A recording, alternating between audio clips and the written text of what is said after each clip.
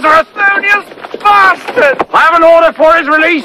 You stupid bastard! Uh, I'm Brian of Nazareth. What? Yeah, I, I'm Brian of Nazareth. Take him down. I'm Brian of Nazareth! I'm Brian! I'm Brian! I'm Brian! I'm Brian! I'm Brian and so's my wife! Right, take him away and release him. No, I'm only joking. I'm not really Brian. No, I'm not Brian. Oh, no, it was a joke. I'm only pulling your leg. It's a joke. I'm not him. I'm just having you on. Put me back. Bloody Romans can't take a joke.